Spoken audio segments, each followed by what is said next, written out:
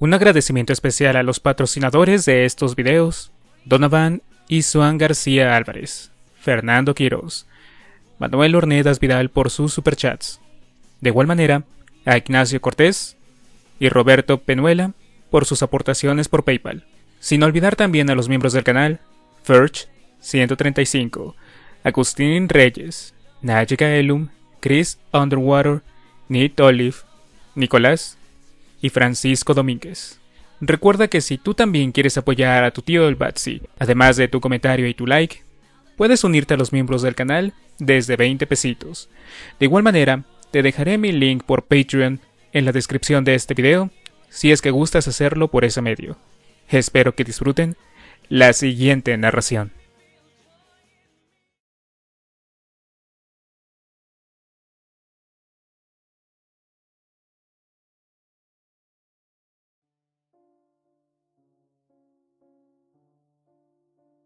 Diario de una invasión zombie. Rescate. Tercer libro. Primero de noviembre, Panamá, Fuerza Expedicionaria Clepsidra. Caos total y absoluto. La escena que se divisaba en tierra recordaba a la de una región que acababa de sufrir un huracán de la categoría 5 o de un bombardeo aéreo. Las numerosas instalaciones del canal que habían sobrevivido al capricho de los elementos exhibían las señales progresivas del deterioro y el abandono.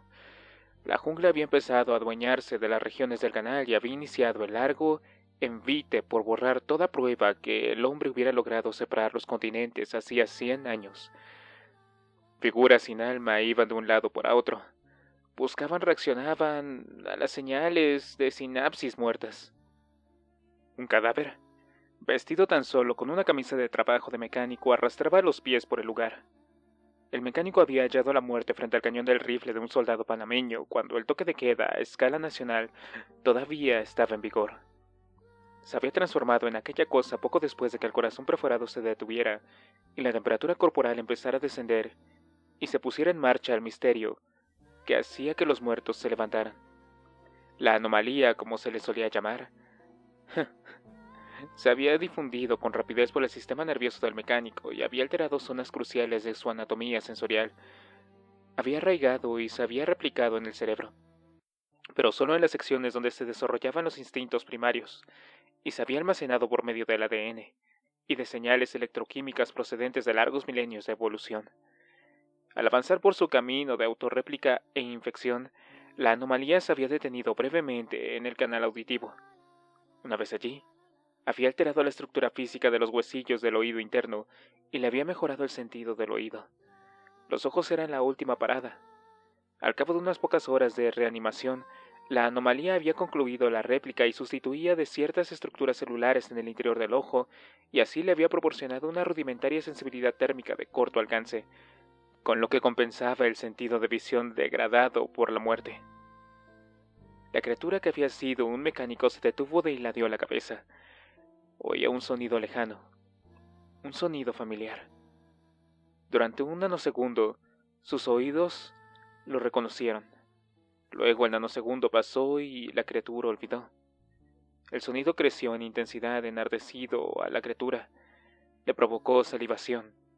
Un fluido gris y translúcido le chorreaba del mentón y se le derramaba sobre la pierna descarnada y casi esquelética. El mecánico dio un paso corto en dirección al sonido.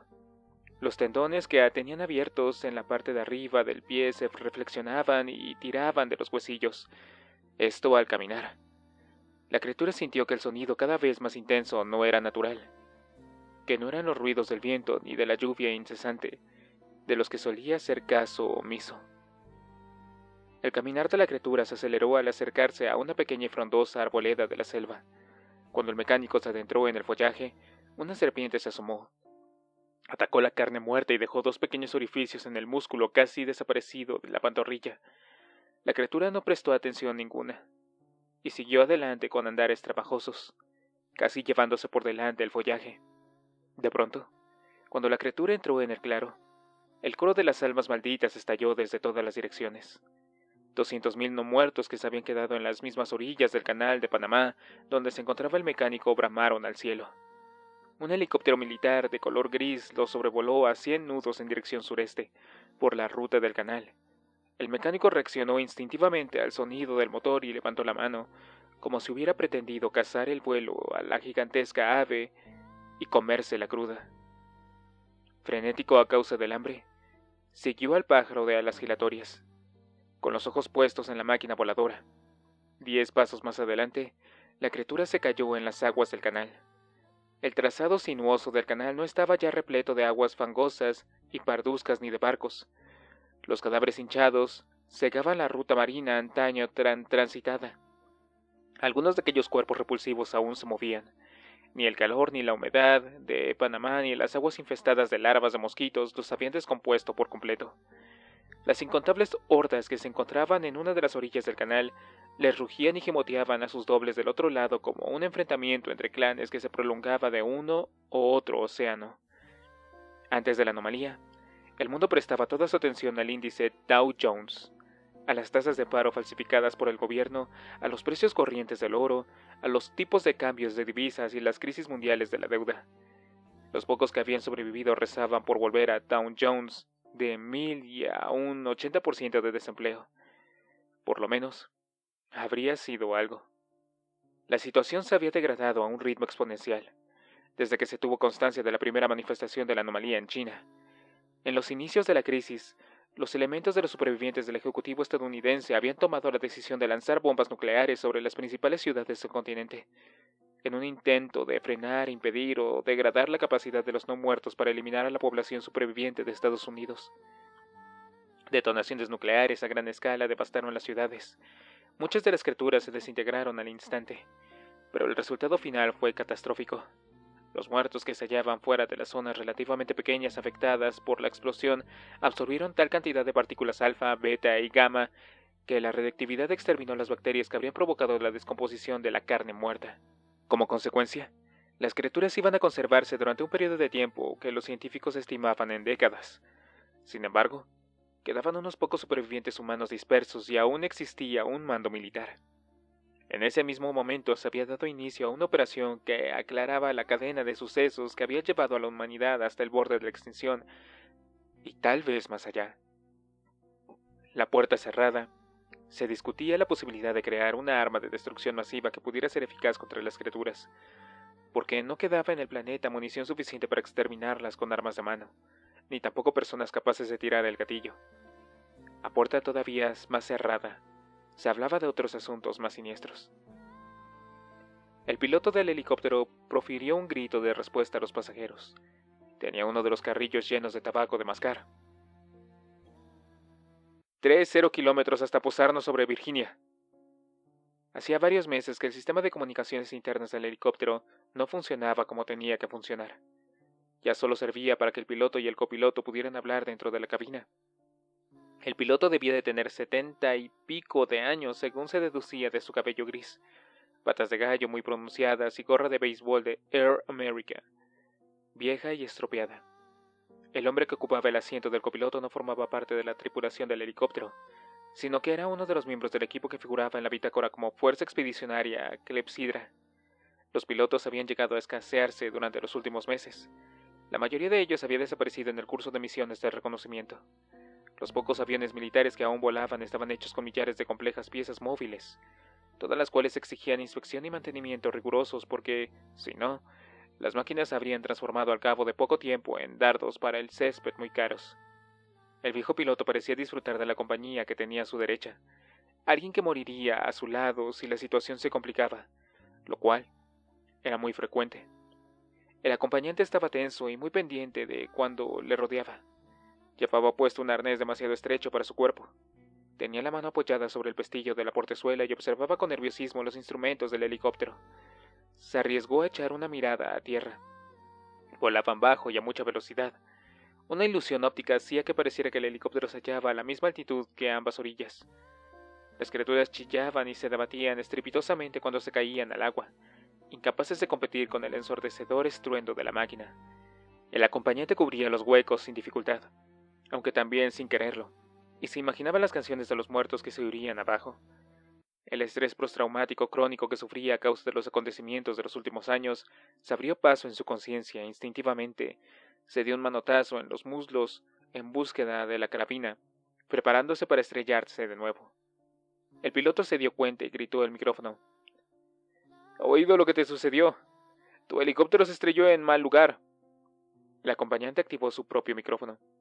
Sí, fue algo de ese estilo. El piloto gruñó. Acabas de hablar por radio. Si quieres hablar solo conmigo, tienes que poner el interruptor hacia abajo y hacia arriba para hablar con el resto del mundo. Bien, lo siento. No te preocupes, dudo mucho que te haya oído a nadie.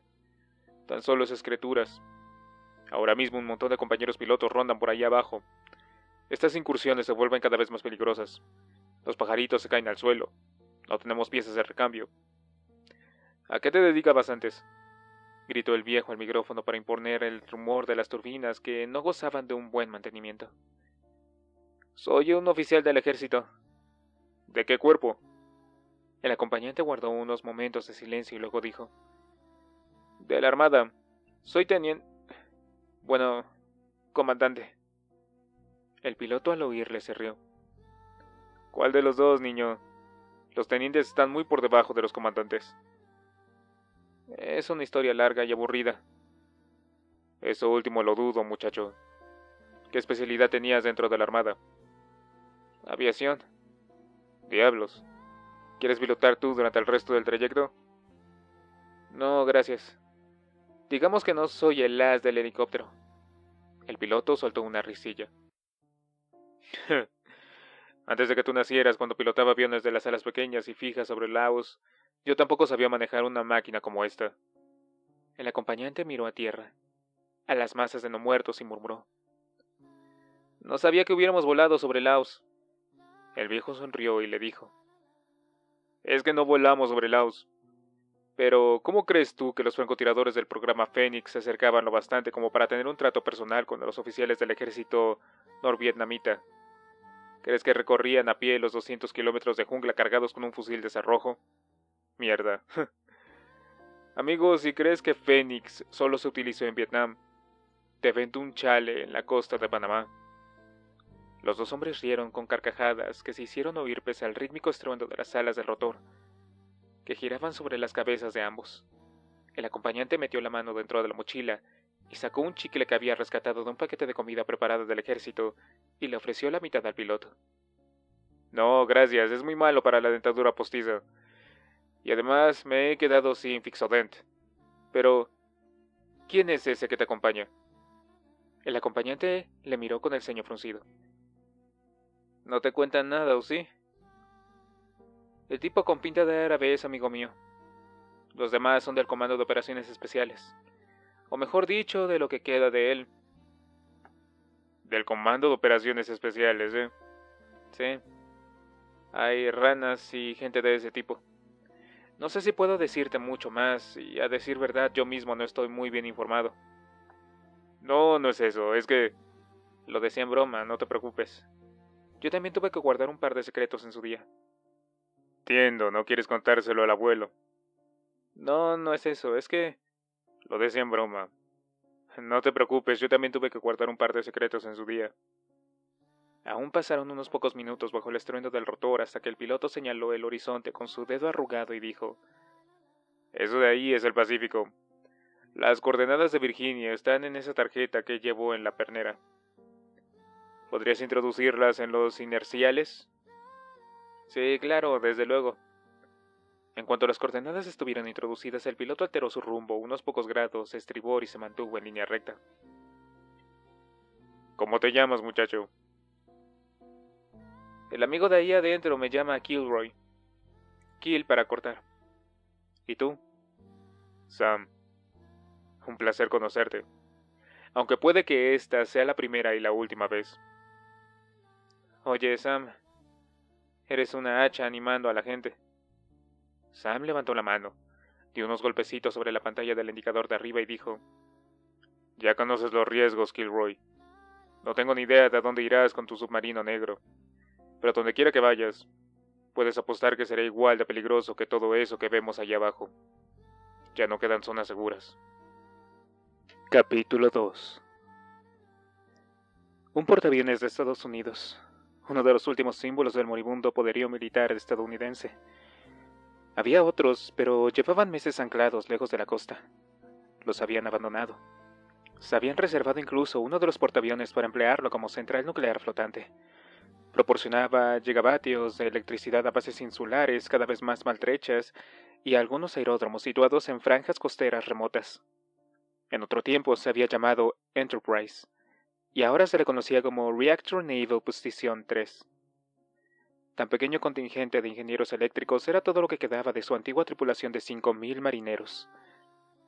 No todas aquellas gigantescas embarcaciones se encontraban en paradero conocido. Un puñado de gigantes de acero había quedado en ultramar cuando las alarmas sonaron y la sociedad entera se vino abajo. El Ronald Reagan se hallaba en el fondo del mar y la mayoría de su tripulación estaba no muerta. Y aún flotaba por los oscuros compartimientos de los presos. Al principio, hubo reproches que volaron de un lado a otro, cual yunques de herrero, mientras hubo hombres vivos que pudieran arrojarlos. Circulaban cables confidenciales en los que se decía que el Ronald Reagan se había ido a pique como consecuencia de los ataques simultáneos de varios submarinos diésel norcoreanos en los días inmediatamente posteriores a la aparición de la anomalía. Nadie lo sabía con certeza. El George H. W. Bush había sido avistado por última vez, difunto, en aguas próximas a Hawái. Observadores presenciales que se hallaban en un destructor estadounidense cercano informaron de que su cubierta estaba plagada de criaturas no muertas. Se había transformado en un mausoleo flotante y lo sería hasta que una ola desconsiderada o un tifón de gran magnitud lo mandara a los brazos de Poseidón. Una parte de la tripulación de los portaaviones restantes se había salvado y se había refugiado en el George Washington. Este último seguía activo en el Golfo de México. La diáspora de los militares estadounidenses perduraba. Las 20.000 toneladas del George Washington surcaban las aguas del Golfo y patrullaban a 10 millas de las infestadas costas panameñas. El gobierno en funciones aún perduraba, y sus órdenes principales eran claras y concisas. Recuperar al paciente cero, a toda costa.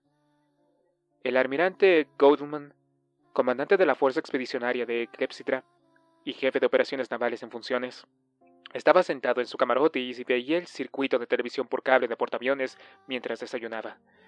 Hacía una semana que pasaban una y otra vez una película titulada El final de la cuenta atrás. Tendría que llamar a alguien para comentárselo, o quizá mejor dejarlo correr.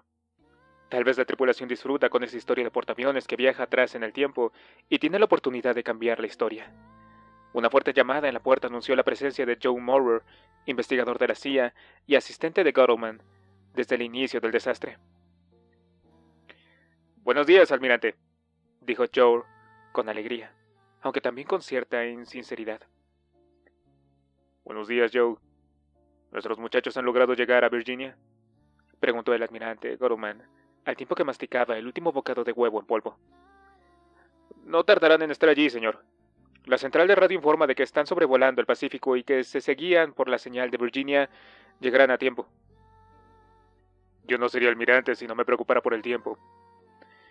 ¿El helicóptero ha comunicado algún tipo de problema? No, señor. La mar está en calma. No hay turbulencias. Me imagino que hoy hemos tenido suerte. Tendríamos que poder ahorrar suerte para otro día. Falta mucho para que Clepsidra se ponga en marcha. Estoy muy preocupado por cómo pueda salirnos esto.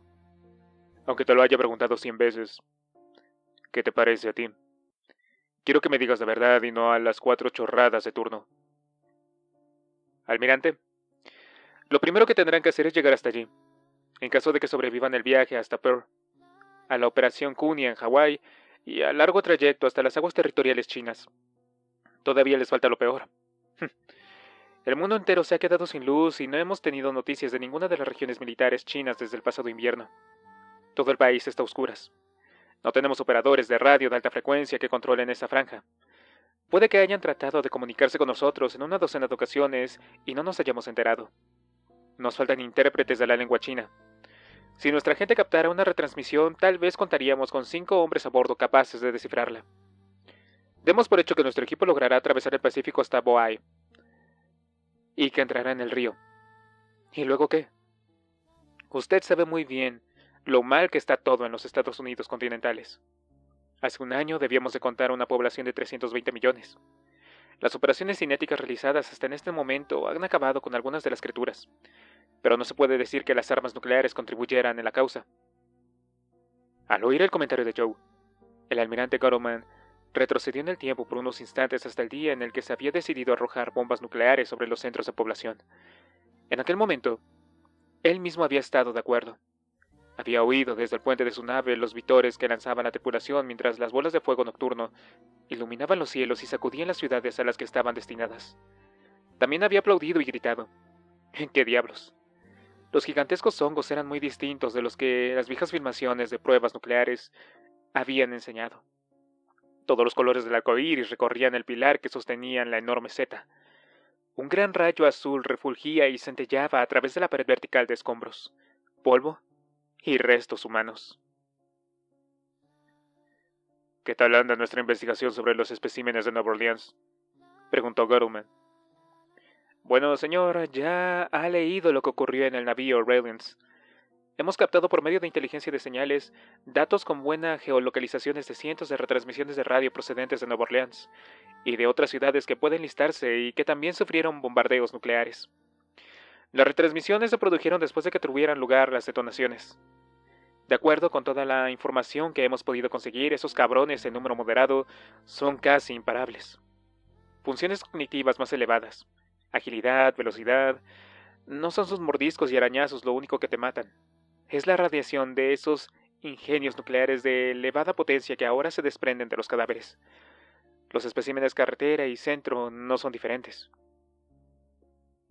No había perdido la esperanza de que me dieras buenas noticias. ¿Sabes? Dijo Gorman casi con tristeza. Aún contamos con propulsión, agua fresca y algo de comida, señor. El almirante se obligó a reír. Bueno, supongo que ya es algo. Joe tomó un trago y tosió, y dijo, Los hombres de ese helicóptero que está a punto de llegar al submarino ni siquiera saben lo que tienen que buscar. Pronto lo van a saber. El oficial de inteligencia del Virginia los pondrá en antecedentes. Señor, sé que lo hemos discutido ya, pero mi postura no ha cambiado. Si se lo contamos todo, podemos encontrarnos con que el asunto se complique en algún nivel. Tal vez consideren que no merece la pena recobrar el paciente, si es que consiguen localizarlo. Tal vez les parezca que se trata de un derroche de tiempo y también de recursos. Joe, puede que el paciente cero sea la clave que nos permita salir de este embrollo. Estoy dispuesto a sacrificar un submarino de millones y millones de dólares y a todos los hombres que viajen en él si con eso tenemos una sola maldita oportunidad. Además, también tenemos que pensar en la tecnología. Joe se acercó a la barra y se sirvió otro dedo de bebida. Hace 70 años que disponemos de esa tecnología y no hemos dado grandes saltos adelante, salvo tal vez el estado sólido en cierta invisibilidad, una levitación magnética primitiva y tal vez láseres. Tardamos décadas en reproducirla con nuestras limitaciones y eran ridículas, demasiado grandes. Además, ¿de qué nos va a servir la tecnología contra siete mil millones de depredadores adelante de nosotros? Todos esos argumentos son muy convincentes, sí, pero... Entonces dime qué alternativa tenemos. Pues podríamos reunir a todos los supervivientes y trasladarnos a una isla, almirante. Fortificarla y vivir el resto de nuestras vidas en un lugar donde al menos corriéramos menos peligro que aquí. Que abandonemos Estados Unidos que les dejemos en manos de esas criaturas? Mire, señor, eh, con el debido respeto, en el continente no queda nada salvo millones de criaturas de esas. Muchas de ellas han recibido tanta radiactividad que no pueden descomponerse. Aun cuando ninguna de ellas hubiera expuesto a la radiación, los expertos calculan que podrían caminar durante otros 10 o tal vez más años, y serían una amenaza durante un tiempo todavía más largo. No tenemos ni idea de cuánto tiempo van a durar. Hay quien dice que tal vez treinta años o incluso más. El almirante parecía mirar a la pared a través del cuerpo de Joe.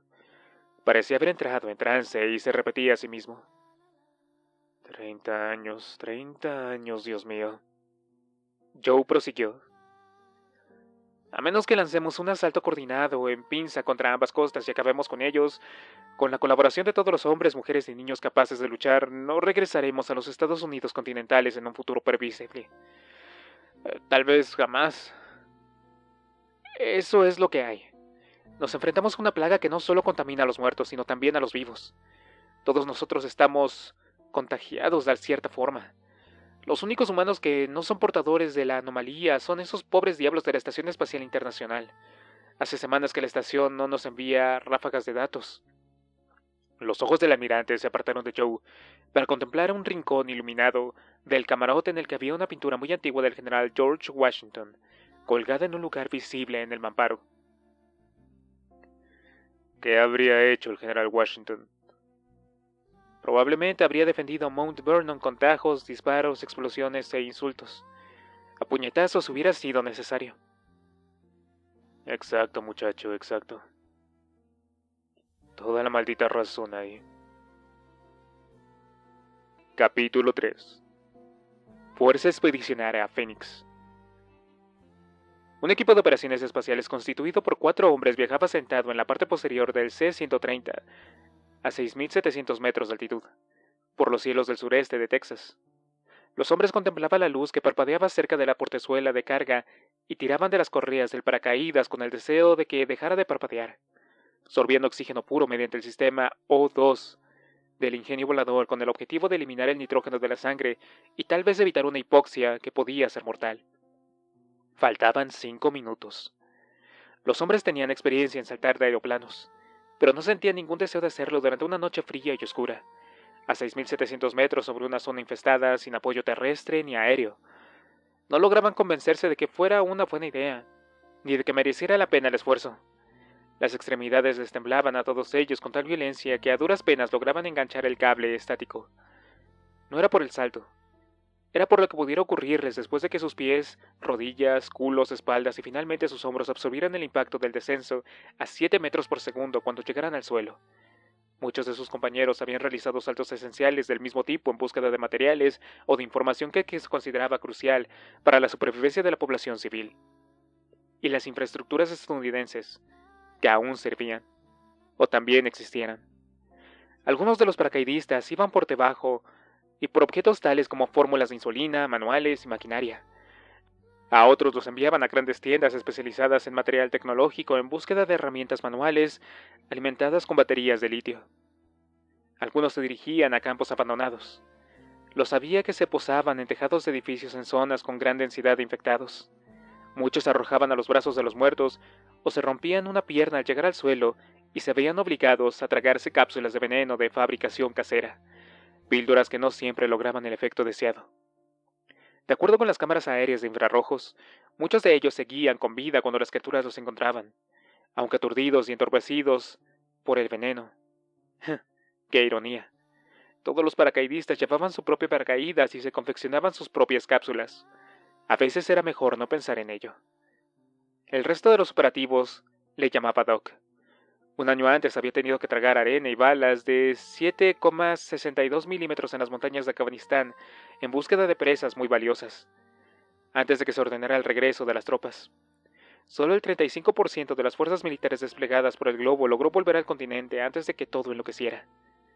Doc y Billy Boy, amigos suyos desde hacía tiempo y compañero en la Fuerza de Operaciones Especiales SEAL, fueron los últimos en abandonar las provincias del sur de Afganistán pasaron por un infierno para abrirse paso hasta el mar de Olman, desde donde pudieron regresar a Estados Unidos a bordo del Pecos, un navío que transportaba los suministros que guardaban enfrente a la costa.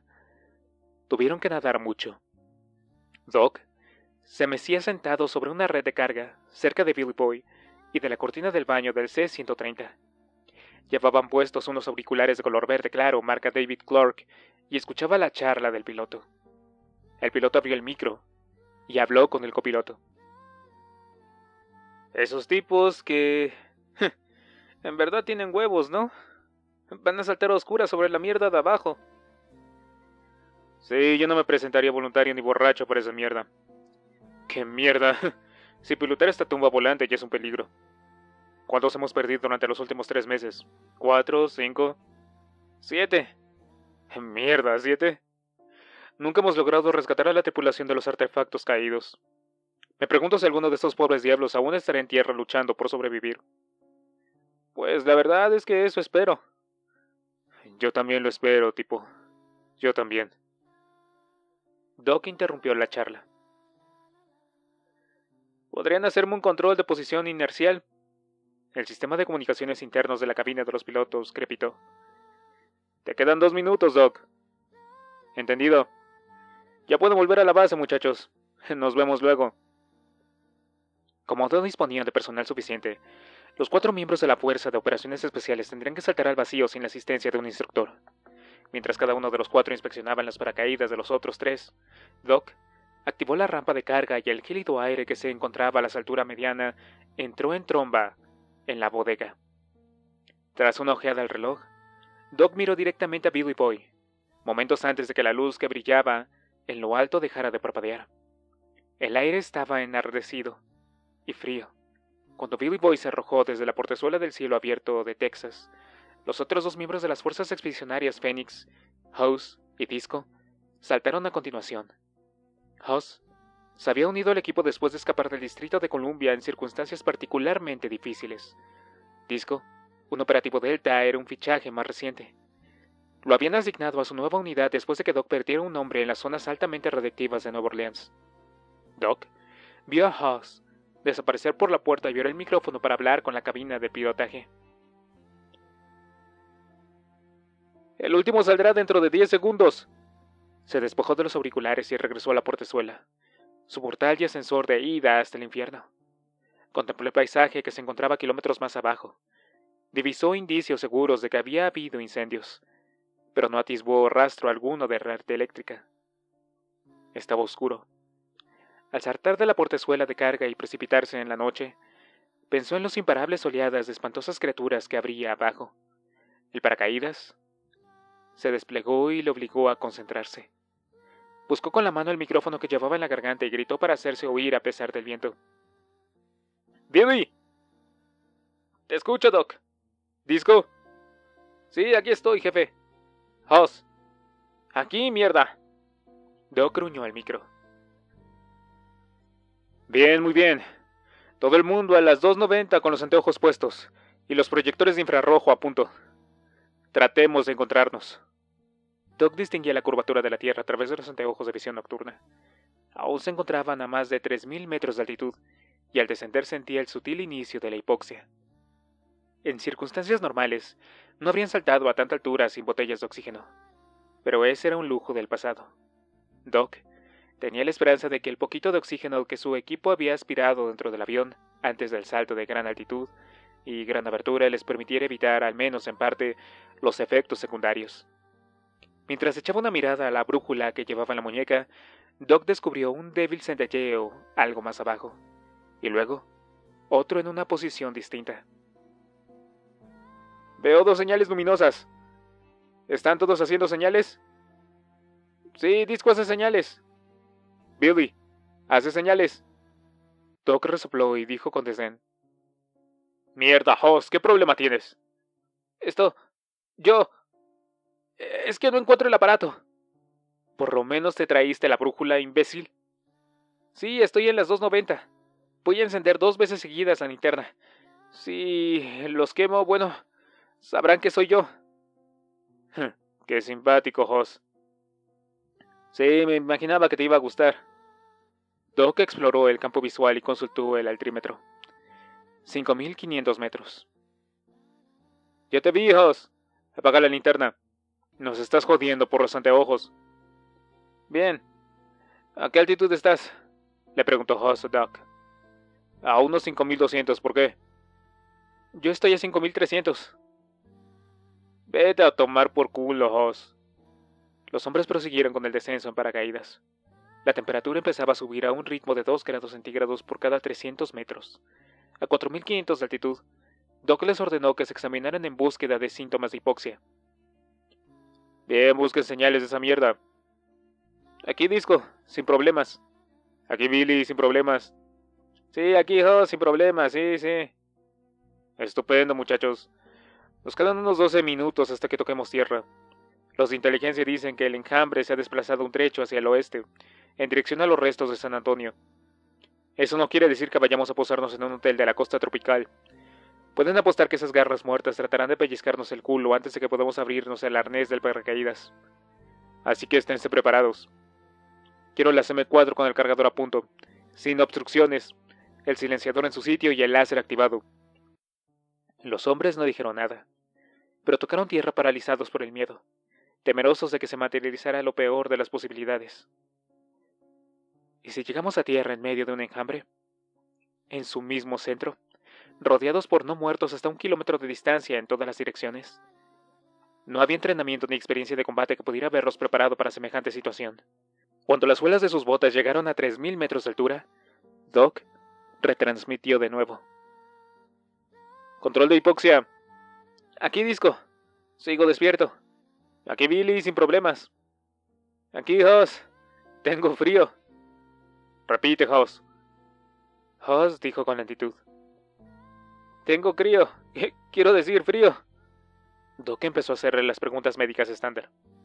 Hoss, nos quedan ocho minutos hasta tocar tierra. Empieza a decirme en alfabeto empezando por el final. Hoss le respondió con la voz pastosa. Pero amigo... Empieza, mierda, le dijo Doc. Bien recibido. Z, Y, W, V... Mierda, tío, lo siento mucho. No... No sé qué sigue. Tienes hipoxia, Hawks. Estamos a menos de 3.000 metros. Tienes que recobrarte antes de que lleguemos a tierra. Disco, Billy, vayan por Hoss tan pronto como hayan sacado el paracaídas. Disco respondió al instante. Sí, así será. Billy murmuró. Estoy en ello. Espera, ¿cómo vamos a saber dónde se encuentra? Hoss se ha olvidado del aparato. Doc le respondió. Tienes razón. Hoss, enciende el láser infrarrojo. Será la única manera en que te encontremos. Cuando estés en tierra empieza a hacer señales en todas las direcciones tan pronto como te libres del arnés. No hubo respuesta. Mierda, Hoss, di algo. gritó Doc. Una voz pastosa y débil murmuró. Sí. Sí, recibido. 1500 metros. Control de hipoxia. Disco, aquí estupendo. Billy, sin problemas. Doc nervioso dijo por radio. Será mejor que estemos pendientes de Hoss. Nos hallamos a menos de 1500 y ya lo es vuelo. ¡Cuatro minutos! Disco y Billy retransmitieron al unisolo. Sí, recibido. Forzaron la búsqueda de indicios de que las criaturas pudieran infestar la zona en la que iban a tocar tierra. Aún no habían descendido lo suficiente como para poder ver el suelo con precisión mediante sus instrumentos ópticos. Los anteojos le proporcionaban tan solo una falsa percepción de profundidad. Las normas eran Mantén la mirada fija en el horizonte con las rodillas ligeramente dobladas. No trates de adelantarte al impacto. Variaciones de estas normas se repetían en el subconsciente mientras bajaban los últimos 30 metros. La fetidez de las criaturas se les hizo casi abrumadora cuando cayeron a plomo con el corazón del páramo de los no muertos. Disco fue el primero de los operativos que llegó a tierra. Se recobró al instante. Miró a su alrededor en búsqueda de amenazas y abrió el arnés del paracaídas. Todos ellos imaginaban que Haas debía de estar inconsciente o aturdido por la hipoxia. Haas no paraba de tocarles los huevos a los otros miembros del equipo, pero los demás lo respetaban. Había logrado escapar entero de Washington, D.C. Lo más importante de todo, a nadie le gustaba la idea de perder a un hombre cuando el equipo entero tenía cuatro, y todavía menos en un momento como aquel. Mientras Discos ajustaba el intensificador de los anteojos, Billy Boy llegó a tierra, siete metros a su izquierda con una palabrota y el sonido suave del golpe. Doc hizo impacto diez segundos más tarde. Se regruparon en torno a Disco y miraron en derredor, en busca del láser infrarrojo de Hoss. No vieron nada, hasta que el destello de una carabina con silenciador los atrajo hacia una loma. Hoss se había desmayado en algún punto a menos de 300 metros y no se había enterado de que iba a posarse sobre una gran pizza. El paracaídas se le había enredado en una rama y se había oído un fuerte chasquido. Se quedó colgado durante unos minutos, aturdido hasta que la criatura empezó a roerle la punta de acero de la bota izquierda. Las manos huesudas del cadáver le agarraban el pie. La carabina colgaba en un ángulo incómodo, por lo que Hoss tuvo que disparar con el brazo más débil. La primera vez estuvo a punto de abrirse un orificio en el pie, pero a la tercera le hizo estallar el cerebro a la criatura, y los sesos se desparramaron por el suelo como si se vaciara una bolsa de hojas húmedas. Huss activó el láser infrarrojo y apuntó con él en una dirección y en otra. Al cabo de un minuto se dio cuenta de que el auricular se le había salido del lugar durante el descenso. Tras palparse en búsqueda del cable enrollado, volvió a colocárselo en el oído. Doc retransmitía. Estoy viendo el láser, Hoss. Parece que está en una colina. Nos desplegamos a lo largo de 20 metros. Irá al frente con Disco Billy. Y tú te pones a las seis. Disco confirmó verbalmente la orden. Billy replicó por radio tan solo con... Sí, seis. La brevedad de las comunicaciones era la norma en el mundo de los no muertos. Hoss no intervenía en la conversación, a menos de que fuera absolutamente necesario. Los hombres oían el crujido de la maleza que les indicaba que no estaban solos. Cubrieron rápidamente los 50 metros que les separaban del lugar donde Huss había quedado colgado de la pizza. La radio de Doc crepitó con la voz de Billy Boy. Tango 7 y 9. 30 metros.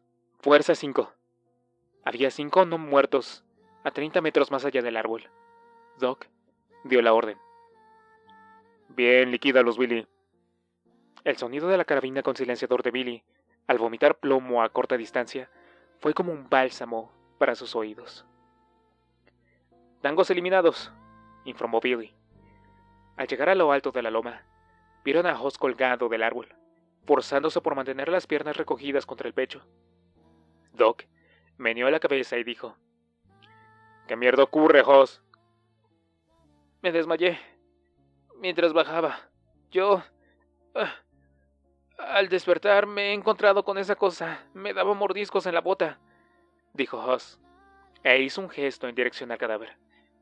¿Qué quieres de mí? Córtale los cables, ordenó Doc. Sí, será un placer, dijo Disco. Disco trepó por el árbol hasta una altura suficiente para cortar los cables y Hoss se cayó ruidosamente al suelo. Aterrizó apenas unos metros del cadáver. Disco, imbécil. Podría haber aterrizado sobre la cara de esta pendejada de criatura. Deja de hacer el subnormal. Ay, por favor, no te pasó nada. No hace falta que seas tan borde. Estás en inferioridad numérica, Disco, bromeó Doc. Sí, ya me lo imagino, pero de todos modos un delta vale lo mismo que tres ranas, replicó Disco con sarcasmo. Y además, se lo creía. Bueno, basta de hacer el ganso. Vamos por los paracaídas y examinaremos el terreno para saber a qué distancia estamos, ordenó Doc. Tres confirmaciones oyeron al unisolo en los auriculares. Billy sacó el mapa y la brújula. Marcó en el mapa el punto donde habían saltado y anotó el viento con el que habían descendido, guiándose por la dirección del humo que brotaba de los lugares donde se habían extinguido los incendios. Refinó y precisó su posición mediante la observación de los accidentes del terreno. Y a continuación, todos los demás expresaron su acuerdo. Doc, Vamos a tener que arrastrarnos 5 kilómetros en dirección norte, norte, perdón, noroeste, para poder ubicar de manera aproximada las puertas de acceso, dijo Billy. Mejor de lo que habíamos esperado. Recogieron el paracaídas. Los metieron cada uno en una gran bolsa de basura que formaba parte de su equipo y marcaron en los mapas el lugar donde los dejaban. Los paracaídas les vendrían bien para adelante, pero no valía la pena meterlos en las mochilas y tener que cargar con el peso extra. El tiempo era esencial. En aquellos parajes, habría sido muy peligroso que los sorprendieran en pleno día. Capítulo 4 Tara estaba echada sobre la cama y miraba al cielo. No habría mirado de manera muy distinta a un profesor aburrido en la universidad en un tiempo que le parecía ya pertenecer a otra vida. Los fluorescentes rectangulares estaban de color rojo, la litera se mecía levemente mientras el barco avanzaba por aguas revueltas. El estruendo que surgía del bafle, montado sobre la puerta, la obligó a recuperar la concentración. Algunos de los miembros de la tripulación lo llamaban 1MC. Ese término estaba en la lista de lo que debía aprender. Tenía tanto por asimilar. Hacía tan solo unos días que su novio se había marchado. Había pasado una semana desde la evacuación del Hotel 23. A ella le parecía que hacía mucho tiempo más. El recuerdo se había vuelto tan borroso. Aún creía oír la señal sonora dentro de su cabeza. Todos los demonios del infierno no habrían podido asustarla más. No creía en el infierno tal como aparecía representado en las iglesias y en las novelas de terror. Solo conocía el infierno de la verdad, que había visto con sus propios ojos el día en que huyeron del Hotel 23. Habían hecho subir a Tara a bordo de un helicóptero junto a Dean, Jan, Laura y el resto. Laura se enfrentaba a la perrita blanca de John, Annabel, por puro miedo. Cuando los evacuaron del último sitio, que por un breve periodo de tiempo habían llamado hogar, ninguno de ellos sabía lo que podían encontrar más adelante. Zain le había empujado a bordo y le había dicho para darle ánimos. No te preocupes, cuidaré aquí por ti. Estarás salvos conmigo. ¡Vamos! Las imágenes de la batalla que se veían y se habían librado pocos días antes en el camino del Hotel 23 y el Golfo habían quedado marcadas como cicatrices en su conciencia y habían alimentado sus sueños recientes. El helicóptero se había elevado sobre el complejo, y Tara había empezado a ver lo que parecían millones no muertos que se acercaban. Pura muerte que convergía en el nexo. El Hotel 23. Los supervivientes habían marchado en un convoy de vehículos militares, así como en coches y camiones, e incluso a pie. Solamente las mujeres y los niños habían viajado por el aire a fin de garantizar su seguridad. Tenía un vívido recuerdo de los Marines que disparaban contra las hordas, que dispersaban en un instante a masas no muertos, que con sus balas arrojaban miembros cadavéricos en todas las direcciones. Algunas de las balas parecen rayos láseres, pensó, mientras los Marines cegaban a millares de víctimas de las hileras frontales de no muertos. Con todo, legiones de estos lograban superar las líneas de fuego. Eran demasiados como para detenerlos. El helicóptero voló hacia el sur y Tara tuvo el primer vislumbre del navío George Washington, una mancha en el horizonte que crecía en cuestión de segundos, mientras volaban hacia él. Un hombre llamado Joe Maurer le había tomado el parte en el día anterior. Le había pedido educadamente que empezara desde el principio, desde meses atrás, desde el auto donde la habían encontrado y la habían rescatado. Sintió un asomo de vergüenza cuando Joe le preguntó cómo había podido sobrevivir durante tanto tiempo en el interior del vehículo, se ruborizó todavía más cuando el hombre le dijo ¿Cómo. cómo hacías tus necesidades? No solo por vergüenza, sino por el miedo que la golpeó como un rayo cuando el hombre le hizo la pregunta. Recordaba a las criaturas. La observaban en el interior del auto mientras dormía. La observaban mientras lloraba. La observaban mientras desmaldecía y les escupía. Y la observaban incluso cuando hacía sus necesidades en una taza grande de McDonald's. Gracias al cielo, no tenían la fuerza ni la inteligencia suficientes para romper los cristales con rocas, como Tara había visto en otras ocasiones. Golpeaban sin cesar los cristales con muñones sanguinolientos e hinchados de pus. Lo que había quedado en sus manos, llegaron al extremo de emplear las cabezas como arietes en un intento por abrirse paso hasta ella. Aún no habían llegado a saltarle los dientes de su boca podrida cuando trató de morder el cristal para llegar hasta ella a través de la ventanilla gritada. Seguían por impulsos primarios, pensó Tara en ese momento. Estaba en las primeras fases de una insolación cuando la encontraron. Gil no había sido su único salvador, pero sí era la primera persona a la que había visto al mirar desde el borde de la muerte, y ahora se había marchado. Lo habían mandado a una misión que probablemente no serviría para nada. A Tara, en realidad, no le importaba la misión. Lo único que quería era que volviera. Tara había llegado a entender cómo debió de haberse sentido su abuela cuando el abuelo tuvo que marcharse a Vietnam. Ella, por lo menos, tenía a John y a los demás. Era John quien mantenía unido al grupo. Había estado con ellos en las horas más negras, en el día en que se vivió en el Hotel 23, cuando el helicóptero no regresó. Tara estuvo llorando durante varios días. Sin rendirse jamás, vivía junto a la radio. Mientras estaba despierta, se pasaba todo el tiempo atenta a las señales de socorro. Obligó a John a prometerle que haría lo mismo mientras ella dormía. John lo hizo, sin quejarse ni cuestionarla. Casi con certeza, John habría muerto también de no ser por Kyo.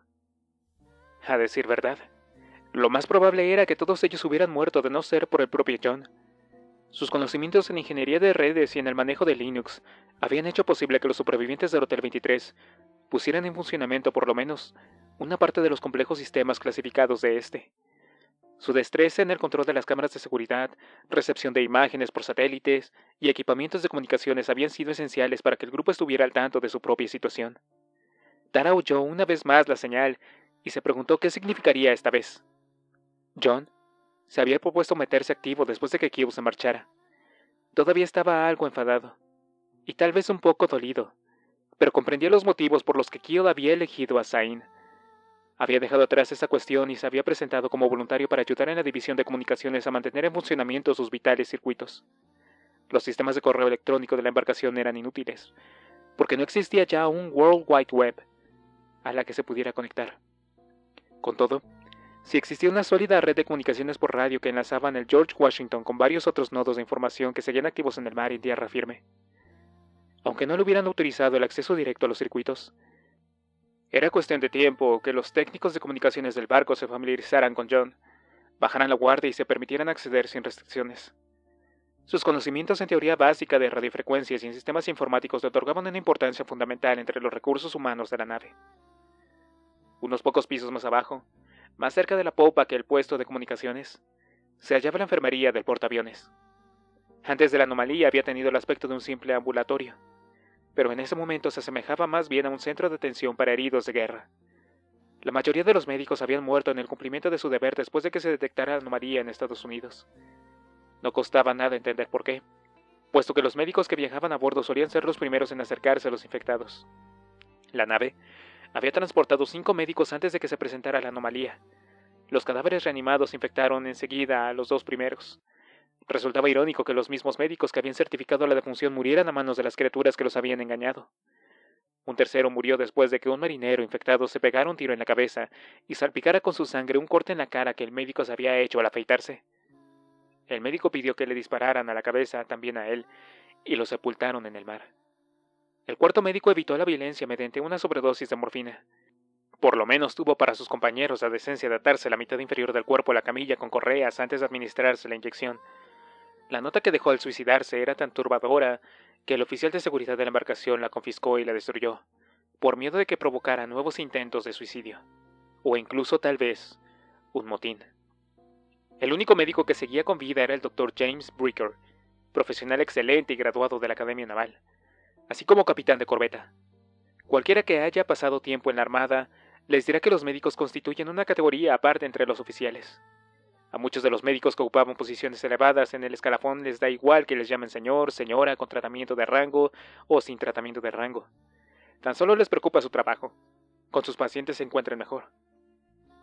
Cuando Jan llegó al Hotel 23, Bricker se encontraba al borde de la locura, y quizá también el del viejo y fiable gotero de morfina. Después de que embarcaran y pasaron una entrevista, se les pidió a los nuevos pasajeros que rellenaran un formulario donde se les preguntaba por sus habilidades prácticas. Los seleccionadores sabían a quién buscaban y tenían claro cuáles iban a ser en todo momento las prioridades. Al leerse los formularios y encontrarse con un estudiante de cuarto curso de medicina, el equipo de selección prácticamente arrancó a Jan de su silla y se la llevó lejos de su marido y de su hija, en dirección a la enfermería. Nada más llegar, Jan se sintió como si hubiera entrado en un manicomio. Pacientes vivos pero infectados chillaban en las camas y forcejeaban en su delirio por liberarse de sus ataduras. Los voluntarios iban de un lado a otro, como abejas por entre las camas de hospital. El único médico, con pinta de loco y el cabello revuelto, estaba inclinado sobre un microscopio y lanzaba maldiciones contra lo que fuera que había visto en el portaobjetos. El seleccionador le interrumpió. Doctor Bricker, tengo Ahora no. El seleccionador aguardó durante unos segundos. Parecía que no se decidiera a interrumpirlo de nuevo. señor, he encontrado. Sin separar los ojos de los cristales del microscopio, el doctor Bricker parpadeó.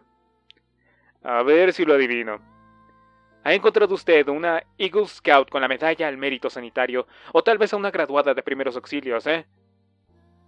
¿Os ofrecía por catálogo como transcriptora de historiales médicos? Era estudiante de cuarto de medicina, señor. Bricker cayó por unos instantes, sin dejar de mirar al microscopio y a los secretos que se ocultaban bajo sus cristales. ¿Está usted seguro? La tengo aquí, señor. La dejo en sus manos, entrevístela, hágale lo que... Eh, bueno, un examen. Lo que sea que a usted le parezca bien. Tengo muchos otros formularios por leer, así que tendría que marcharme. La dejo toda en sus manos. Jan se volvió hacia el seleccionador, molesta por su descaro. Disculpe, señorita, Me parece que he hablado como si no estuviera aquí presente. Es que he pasado un día muy largo. La expresión en el rostro de Jan pasó del enojo a la comprensión. Bien, no se preocupe. La entrevista empezó enseguida y duró un buen rato. Bien, ¿dónde estudió? ¿Qué experiencia tiene con enfermedades víricas? ¿Tiene alguna teoría a propósito del origen de esto? ¿Cuánto... cuánto tardó en verlos? ¿De dónde le parece que sacan su... Jan estaba ya exhausta cuando Will le dio unas palmadas en la espalda e interrumpió la entrevista estilo Inquisición en la que se había enfrascado Breaker. Más bien parecía un interrogatorio por asesinato. ¿Quién es su amigo, señorita Grisham? Soy señora. Y él es el señor Grisham. Pero no tendrá problemas en que le llame William. Breaker tendió torpemente la mano para estrecharla de Will. Will se la agarró como una tenaza. Jan se dio cuenta y le dio a entender con la expresión del rostro que no apretara tanto. Encantado de conocerle, Doc. ¿Le importaría explicarme por qué se habían puesto a hacerle preguntas a mi mujer como si fuera una terrorista en una sala de interrogatorios? Bueno, pues... Tendría que entender usted. Entienda que soy el último médico que queda a bordo. Ahora ya no podemos contentar con un proceso de selección normal, señor Grisham. Puede usted llamarme Will. Muy bien, gracias, Will. Tenemos suerte de contar con la señora Grisham. Espero que no le importe si la llamo Jan. Jan asintió con la cabeza. Mire, tengo contactos limitados con médicos del extranjero por medio de las redes de radiofonía del portaaviones. Por desgracia, como le decía antes, soy el único médico de esta ciudad flotante. Mucho me temo que su mujer, Jan, se encontrará ahora en una posición delicada. Acaba de entrar en la lista de los tripulantes de alta prioridad los que hay que defender a toda costa, por lo que hay que matar si es necesario. Ella y yo, los altos mandos, los ingenieros nucleares, los soldadores, los expertos en comunicaciones y unos pocos más tenemos una importancia vital para el mantenimiento y la supervivencia de esta base. Jan cayó por unos instantes, hasta que hubo asimilado lo que acababa de oír. Y entonces preguntó. ¿Qué se hace aquí exactamente, doctor? Bueno, las órdenes son tan simples como los oficiales que comandan esta embarcación. Descubrir qué es lo que hace que los muertos se levanten y buscar una manera de detenerlo. Al menos, si fuera posible, impedir que se produzcan nuevas infecciones. ¿Y la salud de las personas que se encuentran ahora a bordo? preguntó Jan, al tiempo de que los chillidos de los pacientes subrayaban sus palabras. Lo siento, pero queda un segundo plano eso, dijo el doctor Breaker y suspiró. Bien, de acuerdo. Con mis cálculos hemos superado desde hace mucho el punto de no retorno. La humanidad se encuentra al borde del abismo. Lo único que puede salvarnos es la buena labor científica.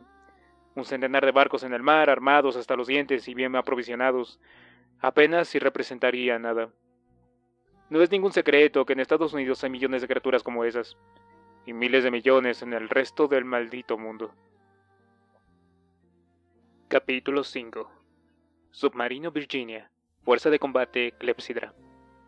Seis gruesas cuerdas de descenso en rappel bajaron casi al mismo tiempo desde la portezuela del helicóptero. La fuerte corriente del aire, creada por el rotor, azotaba a los miembros del equipo, al tiempo que las cuerdas desenrollaban, cual mambas, y se estrellaban sobre la cubierta de Virginia, detrás de la torreta. La embarcación se ladeaba, obediente a la azarosa corriente del Pacífico. El casco del submarino no estaba diseñado para reposar en la superficie. Era mucho más adecuado para la infiltración de grupos de operaciones especiales y para llevar en silencio la muerte a las puertas de los submarinos enemigos. Pocos segundos después de que las cuerdas golpearan la cubierta, bajaron los seis pasajeros. Los primeros cuatro descendieron con el ritmo y la comodidad que tan solo se alcanzaban al cabo de muchos años de práctica en operaciones especiales. Los dos que bajaron luego, en comparación, parecían torpes y sin experiencia. A medio descenso, uno de los dos perdió el equilibrio y se sostuvo agitando en el aire, sujeto por el arnés, como un animal que ha caído en una trampa, y al debatirse estuvo a punto de arrear una patada en uno de los mástiles. Al cabo de un rato de sufrir de aire cálido propulsado por el rotor y de hacer torpemente la payasada en las cuerdas, Gil y Zain se unieron a los otros cuatro que ya estaban en cubierta. El jefe del equipo que erguía allí, y el aire se desplazaba, los potentes motores les agitaban la ropa. Sus pies y piernas de marinero se aferraban a la cubierta de acero como otros tantos imanes y se mantenían en equilibrio sin ninguna dificultad. Le hizo una señal con la mano al jefe de tripulación que se hallaba en el helicóptero. Unos segundos más tarde, cinco grandes talegos de lona repletos de armas y equipamiento bajaron poco a poco hasta la cubierta. Los hombres le hicieron una señal de conformidad al piloto y el jefe de tripulación empezó a jalar los cables negros. El piloto hizo un saludo a los hombres que se quedaban sobre la superficie del submarino y quedó de inmediato del control cíclico. El helicóptero voló hacia el norte. El estruendo y la corriente de aire del rotor desaparecieron rápidamente en la lejanía. Los hombres quedaban a merced del Pacífico. Los operativos se despidieron de la superficie y se caminaron sobre el espinazo de la embarcación, por la áspera pasarela antideslizante hasta llegar a la torreta. Kiel y Zain le seguían, y uno de ellos le dijo al otro en voz baja: Allá donde fueres. Recorrieron lo que les parecía una distancia considerable. Bajaron por la escalerilla, entraron por la escotilla y se adentraron en el vientre del submarino. Descendieron hasta la zona de mandos. La luz del cielo se extinguió y el alumbrado interior de color rojo ganó en intensidad. Los cuatro operativos desaparecieron en dirección a proa, hacia los complejos órganos internos del submarino, y dejaron a Kiel y Zain en el puente, entre desconocidos. Un hombre vestido con un mono azul arrugado, zapatillas de tenis y una gorra con visera de la armada se les acercó y le tendió la mano a uno de los dos. Soy el capitán Larson, oficial al mando del Virginia. Uno de los recién llegados tendió la mano y estrechó con fuerza la de Larson. Nosotros somos... Ya sé quiénes son ustedes y por qué están aquí. Les interrumpió Larson. Gill estuvo a punto de esforzarse por ocultar su reacción y no impedir que Larson continuara. El almirante me retransmitió un mensaje personal hace tres días. Tuvo la gentileza de proporcionarme información acerca de usted y de su amigo, el señor Sain. Nos han hablado de usted y de su extraña experiencia con Remoto 6. Trátese de lo que se trate. Bueno, pues parece que el almirante nos ha ahorrado tiempo, respondió Kyo. Sí, sí que lo ha hecho.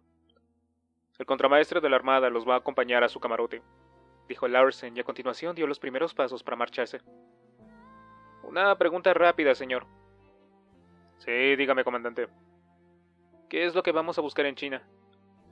Les informaremos en la sala de reuniones de carácter reservado. Estén a punto para una reunión a las 18 horas. Entendido, capitán.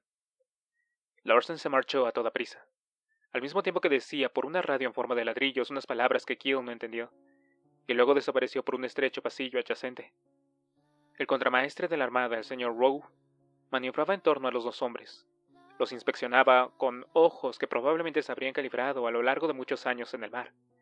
Era un hombre no muy alto, tal vez de un metro setenta y seis, con un mostacho impresionante. Los marineros más veteranos de la Armada tenían una expresión que decía, este hombre ha baldeado más agua salada que la que haya pasado jamás por debajo de este barco. Sin saber por qué, Kiel se quedó con la sensación de que aquella frase debía de haberse inventado para describir al contramaestre de la Armada Rowe. Bueno, me han dicho que uno de ustedes tiene un rango de comandante. Debe de ser usted, dijo Rowe, al tiempo que señalaba a Kiel. ¿Quieres un uniforme? Nos sobran algunos, aunque no tenemos ningún con, galones. Kiel se dio cuenta de que el contramaestre de la Armada había venido con los deberes hechos. Pues me iría bien un par de monos de trabajo, si es que puede permitírselos, contramaestre. No habrá problema, señor. Ya sabe usted mi nombre. Usted se llama Kyo. Póngase usted cómodo, comandante Kyo. Zain se rió sin querer. ¿Y tú cómo te llamas? ¿Ali Baba? le preguntó Rowe a Zain. Kiel se mordió los labios. Me llamo Zain. Rowe observó a ambos con una mirada crítica como si se les hubiera juzgado y pasado sentencia a bordo del Virginia. Comandante Kilroy y el señor Sain. Bienvenidos a bordo del Virginia. Síganme, por favor. Sain y Kill siguieron al contramaestre de la Armada Rowe por el laberinto de pasadizos y escalerillas. Kill empezaba a darse cuenta de que el tiempo y el espacio adoptaban una forma peculiar y fluida a bordo de los submarinos. Pensó que la embarcación no se había visto tan grande desde el exterior. Habían llegado a su nuevo habitáculo, los delimitaba a unas lonas tendidas contra los mamparos que formaban un rectángulo irregular, con una litera para dormir y baúles para guardar las cosas. Disfruten de su nuevo apartamento, Tienen corriente de aire, pero con un poquito de cinta aislante y las cremalleras cerradas estarán bien. Yo estoy al mando de la embarcación. Si les apetece, pueden llamarme contramaestre. Es más corto que contramaestre de la Armada. Kill asintió con la cabeza. Gracias, contramaestre. Muy bien, señor. El contramaestre de la Armada Road se marchó con pasos enérgicos, y mientras estaba en el pasillo gritó algo acerca de unos monos y de tener las instalaciones limpias. Zain y Kill se habían conocido en circunstancias interesantes. Kill había descubierto algún tiempo después de que se encontraran que Zain la había seguido a la pista durante varios días y la había observado mientras abría camino hacia el sur después de sufrir un grave accidente con el helicóptero. Mientras le rastreaba las huellas, Zain había descubierto una nota que Kill había escrito a mano, junto con un alijo de armas y suministros, varios que había dejado en la nevera de una casa que llevaba mucho tiempo abandonada. Kilroy estuvo aquí. El apodo se le había grabado en la memoria antes de que empezara el espectáculo. Kill sentía que se le encogía el estómago al recordar aquel día. Habían tenido que luchar por arrancar el coche al mismo tiempo que millares de criaturas avanzaban hacia ellos. 300 metros, 200 metros, polvo, gemidos, los tenían aún más cerca. En un ataque de pánico y confusión, Zain lo llamó Kilroy, por la nota que había dejado. El nombre de Kilroy evolucionó durante los días que siguieron hasta quedarse simplemente en Kill. Deshicieron los fardos con los que habían venido y guardaron el material por todos los huecos que encontraron. Las camas eran pequeñas y los espacios reducidos. Metieron una parte de sus efectos personales bajo los colchones. No había sitio para todas las cosas que se habían traído desde el espacioso portaaviones, ni el uno ni el otro habían vivido jamás en un submarino y lo demostraron por la manera como desaprovecharon el poco espacio que tenían a su disposición. Kill se sentó sobre la litera y escuchó los sonidos del submarino. Este había sido diseñado para desplazarse en silencio y parecía una biblioteca pública en comparación con el arrastre de cadenas, la ruidosa ventilación y las válvulas solenoides del portaaviones. Oyó inmersión, inmersión, inmersión y entonces la proa se inclinó unos pocos grados hacia abajo y el Virginia descendió a las profundidades. Kill sabía que se enfrentaba, y que muy probablemente no regresaría con vida. Era una sencilla cuestión de números, lógica. Eran demasiados. Esta vez no se enfrentarían a unos pocos cientos, sino a miles de millones de esas criaturas. Al cabo de cuatro horas les informaron de las peligrosas misiones que les aguardaban. Esta es la primera anotación en el diario desde que estoy a bordo de Virginia. Han pasado dos horas desde que he abordado el submarino. La mar está picada momentos antes de que nos sumergiéramos. El oficial al mando me informa que vamos a permanecer en esta zona durante los próximos 20 horas o mientras nos preparamos para el viaje hasta Pearl Harbor. A Zain y a mí nos han instalado en una de las salas de literas de a bordo, arreglada para que parezca una especie de camarote. Qué suerte que no nos hayan puesto a dormir en el compartimiento de los torpedos que es lo que suelen hacer con la mayoría de los extraños, y los que no tienen experiencia en el manejo de submarinos, con los novatos.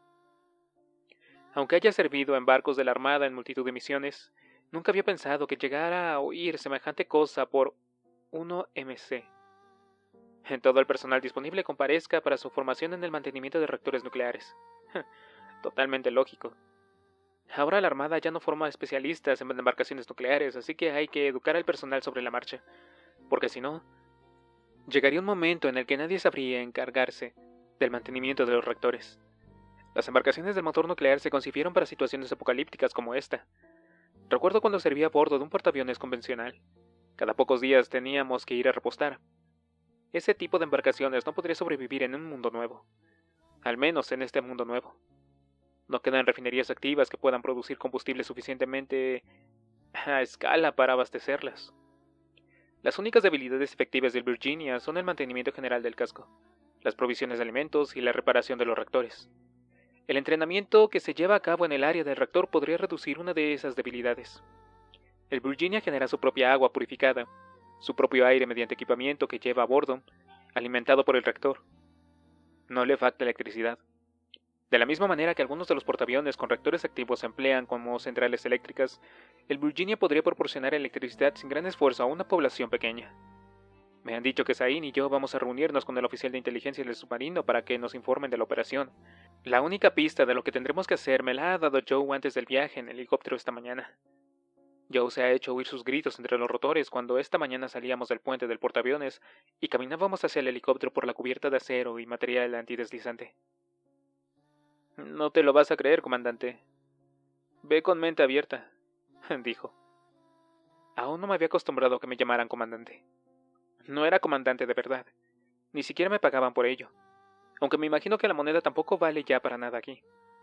En cualquier caso, ahora mismo no tengo ni idea de lo que es lo que podría sorprenderme después de todo lo que he pasado durante los últimos once meses. Esto es como la primera noche en el campamento militar. Estoy fuera de mi ambiente, un poco asustado, y sin lugar a dudas, no tengo ni idea de lo que va a sucedernos.